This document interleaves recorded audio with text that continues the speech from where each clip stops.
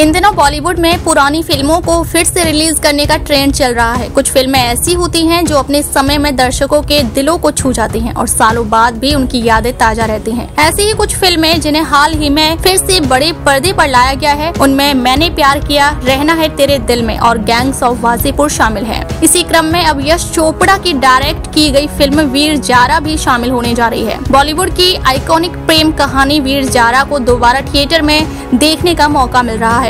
शाहरुख खान और प्रीति जिंटा की यह फ़िल्म, जो 20 साल पहले रिलीज़ हुई थी, दर्शकों के दिलों को छू गई थी। फ़िल्म में शाहरुख खान की शानदार एक्टिंग और प्रीति जिंटा के साथ उनकी केमिस्ट्री ने दर्शकों को भावुक कर दिया था।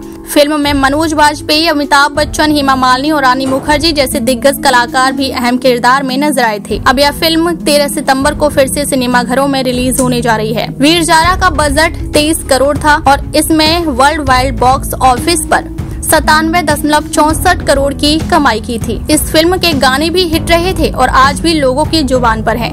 यह फ़िल्म 2004 की सबसे ज़्यादा कमाई करने वाली फ़िल्मों में से एक थी। शाहरुख खान इन दिनों अपनी अपकमिंग फ़िल्म किंग को लेकर चर्चा में है। जिसकी शूटिंग नवंबर 2024 में शुरू होगी। सुजॉय घोष के निर्देशन में बन रही इस फ़िल्म में शाहरुख के साथ उनकी बेटी सुहाना खान और अभिषेक बच्चन भी नज़र आएँगे। फ़िल्म के 2025 के आखिर तक रिलीज़ होने की उम्मीद है। शाहरुख आखिरी फ़िल्म 2023 में हुई डंकी में दिखाई दिए थे। प्रीति जिंटा जो आखिरी बार 2018 में भाईजी सुपर हिट में नज़र आई थी, अब सनी देओल के साथ लाहौर उन्नीस में वापसी करने के लिए तैयार है।